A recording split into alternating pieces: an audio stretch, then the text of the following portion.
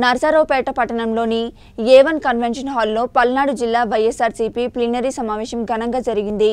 ఈ కార్యక్రమంలో ముఖ్య అతిథులుగా పల్నాడు జిల్లా YSRCP regional coordinator Shri Kodali Nani జిల్లా ఇన్ఛార్జ్ మంత్రి శ్రీ కారుమూరి వెంకట నాగేశ్వరరావు పల్నాడు జిల్లా అధ్యక్షులు పిన్నెలి రామకృష్ణారెడ్డి నర్సారావుపేట శాసనసభ్యులు శ్రీ డాక్టర్ గోపిరెడ్డి శ్రీనివాసరెడ్డి ఎంపీ లావు శ్రీకృష్ణదేవరాయలు మంత్రి అంబటి రాంబాబు శ్రీమతి విడుదల రజని తదితర నాయకులు పాల్గొన్నారు. ఈ సందర్భంగా గౌరవ శాసనసభ్యులు డాక్టర్ గోపిరెడ్డి శ్రీనివాసరెడ్డి మాట్లాడుతూ ఎన్నికలకు ఇంకా రెండేళ్ళ సమయం ఉన్నా కూడా ఇవాళ ప్రతి ఎమ్మెల్యే గడప గడపకు వెళ్తున్నామని గడప గడపలో సంతోషం స్పష్టంగా కనిపిస్తుందని అన్నారు.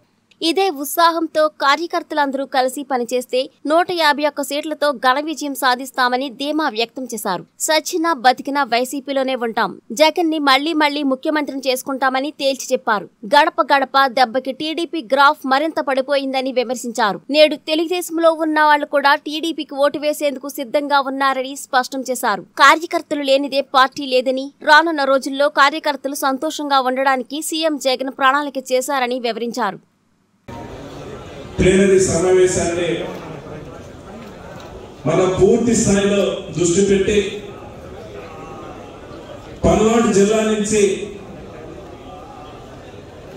ఎక్కువ మంది కార్యకర్తలు తీసుకుపోయి మన ముఖ్యమంత్రి గారికి జగన్మోహన్ రెడ్డి గారికి సంఘీభావంగా విజయవంతం చేయాలని కూడా ఈ సందర్భంగా మీ అందరినీ కూడా కోరుతా ఉన్నాను. గడిచిన మూడు సంవత్సరాల నుంచి జగన్మోహన్ రెడ్డి గారు ముఖ్యమంత్రి బాధ్యతలు చేపట్టిన తర్వాత మనం ఏమేమి సంక్షేమ కార్యక్రమాలు చేశాం? ఇచ్చిన హామీలు ఏ విధంగా నిలబెట్టుకున్నాం? రాబోయే రెండు సంవత్సరాలు ఈ రాష్ట్రంలో ప్రధాన ప్రతిపక్షాలు చేసే అబద్ధపు ప్రచారాన్ని దుష్ప్రచారాన్ని ఏ విధంగా తిప్పికొట్టాలి?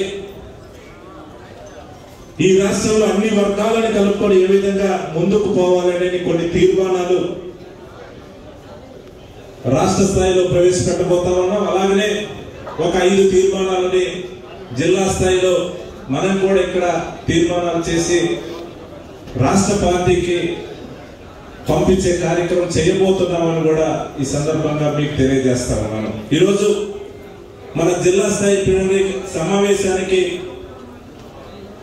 వచ్చిన పెద్దలు ప్రాంతీయ సంబంధించి అయితే మాత్రం మనం చెప్పుకోవడానికి చాలా ఉన్నాయి.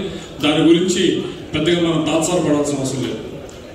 వీటితో పాటుగా సరే ఎన్ని అభివృద్ధి మాట్లాడుతూ ఉన్నారు సంక్షేమం గురించి మాట్లాడుతూ ఉన్నారు అసలు విషయం మాట్లాడరేంటి అని చెప్పి మీ అందరి మనసులో కూడా ఉంటుంది. అదే సినిమాలో ఈ మధ్య ఈ మధ్య సినిమాలో ఏదో పోలీస్ ఆఫీసర్ అంటాడు అనమాట డబ్బు తీసుకుంటా హీరో డబ్బు ఇస్తామంటే డబ్బు తీసుకుంటే ఒకటి తగ్గింది ఒకటి తగ్గింది అంటామంట అలాగే అలాగే మీ వైపు నుంచి కూడా సరే అభివృద్ధి సంక్షేమం చేస్తా ఉన్నారు కానీ ఒకటి తగ్గింది అనేది మాత్రం మీ మనసులో ఉంది. దాని గురించి ఏదైతే బిల్స్ గురించి ఉందో దాని గురించి బిల్స్ ఏదైతే రావాల్సి ఉన్నాయో ఏడుగురు ఎమ్మెల్యేలు కూడా వచ్చిన ప్రతి అవకాశంలో కూడా అటు మన సీఎంఓలు అయితే కానీ అలాగే మంత్రులు అయితే కానీ ప్రతి వచ్చిన ప్రతి అవకాశంలో కూడా సీఎం గారి ఇక్కడికి వచ్చే పర్యటన వచ్చినప్పుడు కానీ ప్రతిసారి కూడా ఆయన గుర్తు చేస్తా ఉన్నాం అందరికీ గుర్తు చేస్తా ఉన్నాం లేదు కార్యకర్తలకు మనం ఈ తొందరగా ఇవ్వాలి అని చెప్పి దాన్ని ఇచ్చే దానికి ప్రతి దగ్గర కూడా ప్రయత్నిస్తూనే ఉన్నాం. వీటితో పాటుగా కేవలం బిల్స్ ఇవే కాకుండా మరొకటి కొద్దిగా మా మేమందరం కూడా ఎలక్షన్ చేసాం గట్టిగా చేసాం. మాకు గుర్తింపు ఏది? మాకు ఇదే ఇదేది ఏంటనే ఉంది. ఇవాళ ఈరోజు గుర్తింపు ఇవ్వడానికే ఇప్పుడు జగన్మోహన్ రెడ్డి గారు పెట్టిన గడపడ కార్యక్రమంలో ఈరోజు ఎమ్మెల్యేలు కానీ అందరూ కూడా మీ దగ్గరికి వస్తా ఉన్నారంటే లేదు. మీరు చేశారు చేసిన దానికి మేము ఏదో ఒకటి మీకు గుర్తింపు ఇవ్వడానికనే మీ దగ్గరికి ఈరోజు వస్తా ఉన్నాం. ఈ రెండు సంవత్సరాల ముందు గడపడప కార్యక్రమం పెట్టుకుని ప్రతి ఇంటికి వచ్చి ప్రతి గ్రామానికి వచ్చి కలు కలుస్తూ ఉన్నారంటే దాని యొక్క ముఖ్య ఉద్దేశం అదే. ప్రతి నిమిషం కూడా ఏదో ఒకటి ఇటువంటి కార్యకర్తలకి చేయాలి ఈ విధంగా వీళ్ళని గుర్తించాలని చెప్పి మేము అందరం కూడా ఆలోచిస్తున్నాం. కానీ పరిస్థితులు మీరు అందరూ చూస్తా ఉన్నారు. కొద్దిగా ఆర్థిక పరిస్థితి కానీ వేరే రాష్ట్ర ఆర్థిక పరిస్థితి కానీ వేరే కానీ ఇబ్బందులు ఉండడం వల్ల తప్పించి మిగతా దేని కాదు. అలాగే పదవుల విషయంలో కుదిరినంతగా కుదిరిలో కుదిరినంతగా పదవుల విషయంలో ప్రతి నియోజకవర్గంలో కూడా ఇవ్వగలిగాము. అన్ని మంచి ఆలోచన చేస్తున్నాం గడప గడప కార్యక్రమంలో భాగంగా తిరుగుతున్నాం. బాగా అందరూ కష్టపడుతున్నారు. మా కష్టానికి మీ కష్టానికి అన్ని విధాల పరిష్కారం ఏంటి అనుకునే దాంట్లో మనం పరిష్కారం పూర్తి స్థాయిలో కాలమే పరిష్కారం చెప్పిద్దని మీ అందరికీ సందర్భంగా తెలియపరుస్తున్నాను. మనం కష్టపడుతున్నాం. మన కార్యకర్తలు కష్టపడుతున్నారు. మన ముఖ్యమంత్రి గారు కష్టపడుతున్నారు. ఎవరి స్థాయిలో వాళ్ళు కష్టపడుతున్నాం? ప్రజలకి మేలు చేస్తున్నాం. ప్రజలకి అట్టడుకునున్నటువంటి వాళ్ళ బిడ్డలకు కూడా ఆ పేదరికం నుంచి బయటికి రావాలంటే అమ్మఒడి ద్వారా ఆ పేదరికాన్ని బయటికి తీసుకొచ్చే విధంగా అంటే చదువుల ద్వారా మనం బయటికి తీసుకురావాలి పేదరికం నుంచి అన్నదే గౌరవ ముఖ్యమంత్రి గారి ఉద్దేశం. అన్ని పథకాలు కూడా అదే విధంగా చేశారు. అందువల్ల మీ అందరికీ సవనీయంగా మనవి చేసుకుంటుంది ఒక్కటే. మీ కష్టానికి ఏ విధమైనటువంటి పరిష్కారం కావాలన్నది కంపల్సరిగా పరిష్కరిస్తారు మన గౌరవ ముఖ్యమంత్రి గారిని మరొకసారి తెలియపరచుకుంటూ. నాకు ఈ అవకాశం కల్పించిన గౌరవ జిల్లా అధ్యక్షుల వారికి అందరికి అర్థమయ్యేటట్టు ఆ నవరత్నాలు ప్రకటించడం ఈ రోజు అవన్నీ కూడా అమలు చేసుకుంటూ పోతుంది జగన్మోహన్ రెడ్డి గారి ప్రభుత్వం. సంక్షేమం బహుశా భారతదేశ చరిత్రలో ఏ నాయకుడు కూడా ఇటువంటి సంక్షేమం ఇవ్వట్లేదు. అప్పులు తెచ్చిన? ఎందుకంటే అప్పులు తెచ్చిన అంటున్నారంటే కోవిడ్ అనే మహమ్మారి యావత్ ప్రపంచాన్ని అతలాకుతలం చేస్తుంటే మనకి మరి నిధులు ఆ ఇన్కమ్ ఏదైతే ఆర్థికంగా ఉంటుందో అది వెసులుబాటు కాకపోయినా అప్పులు తెచ్చి ఈ రోజున ప్రజలకి న్యాయం చేస్తున్నాడు జగన్మోహన్ రెడ్డి గారు. దాన్ని తెలుగుదేశం నాయకులు అప్పులు చేసేట రే అమెరికా వంటి బాగా అభివృద్ధిని చెందిన దేశమే అప్పులు చేసి ప్రజల ఖాతాల్లో డబ్బులు వేస్తుంటే ప్రజలు నిలబడాలి. వాళ్ళు ఎక్కడ కూడా కుంగిపోకూడదు. అధోగతి పాల్గకూడదు వాళ్ళు చదువులు కొనసాగాలి. వాళ్ళు తిండి తినాలని అటువంటి అభివృద్ధి చెందిన దేశం వేస్తుంటే మరి మన మనలాంటి అభివృద్ధి చెందుతున్న వెనుకబడిన దేశం వేస్తే తప్పేంటి అర్థం కావచ్చు ఏమి లేదు దీంట్లో ఒకటే. గతంలాగా ఎక్కడా కూడా అవినీతి లేకుండా జన్మభూమి కమిటీ లేకుండా పారదర్శకంగా ఈరోజు వ్యవస్థ నడుస్తుంది. సచివాలయాలు ఏర్పాటు చేశారు. గతంలో సచివాలయం అంటే ఎక్కడో హైదరాబాద్లో ఉండేది. తర్వాత చంద్రబాబు నాయుడు గారు ఓటు నోటు కేసులో తీసుకొచ్చి విజయవాడలో పెట్టుకున్నారు. ఈ రోజు సచివాలయాలు మీ గ్రామ నడిబొడ్డు మీ వార్డు నడిబొడ్డులు. మరి యువకులతో వాళ్ళతో పాటు వాలంటీర్లు పెట్టి సర్వే చేయించి ఎక్కడ రూపాయి అవినీతి లేకుండా పక్షపాతం లేకుండా రాజకీయ ఒత్తిడి లేకుండా కులాలకు మతాలకు పార్టీలకు అతీతంగా ఈరోజు సంక్షేమం అందుతుంది. గతంలో చూసాం. గతంలో కూడా రాజకీయాల్లో లోకల్ బాడీ ఎలక్షన్లు వస్తే అధికార పక్షానికి యాభై అరవై మహా అయితే అరవై శాతం వచ్చేది. ప్రతిపక్షానికి ముప్పై ముప్పై శాతం ఉండేది కాంగ్రెస్ టీడీపీ ఉన్నప్పుడు కూడా. మరి ఈరోజు జగన్మోహన్ రెడ్డి గారి పాలనలో మీరు చూస్తున్నారు.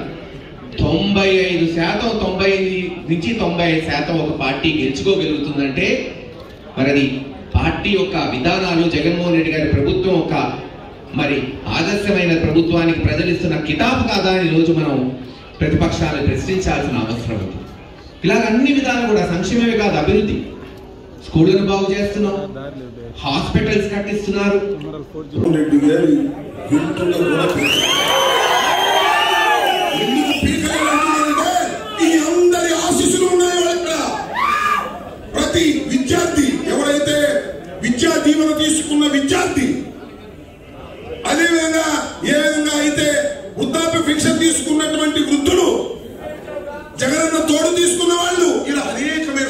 కార్యక్రమాలు తీసుకున్నటువంటి ప్రజానీకం జగన్మోహన్ రెడ్డి గారికి అండగా ఉంటే వీళ్ళు ఏంటంటే చేసేది కానీ గుండు ఏమీ చేయలేదు. ఏదో ఒక విధంగా జగన్మోహన్ రెడ్డి గారి మీద బురదల్లటువంటి కార్యక్రమాలు చేస్తున్నారు. ఆ కార్యక్రమాలు చేసినా ఈ రాష్ట్రంలో తిరిగి మీకు అనుమానం ఉందేమో? అలా నాకు అర్థం ఎన్నో మాట్లాడుతూ ఉన్నారు. ఈ రోజు అనేక సంక్షేమ పథకాల్ని ఈ రోజు ముఖ్యమంత్రి గారు చాలా గొప్ప పెద్ద ఎత్తున ఈ రాష్ట్రంలోని ప్రజలందరి కోసం అమలు చేస్తా ఉన్నారు. మరి చంద్రబాబు నాయుడు గారు ఒకసారి అమ్మఒడి అనే ఒక గొప్ప పథకం ఉంది.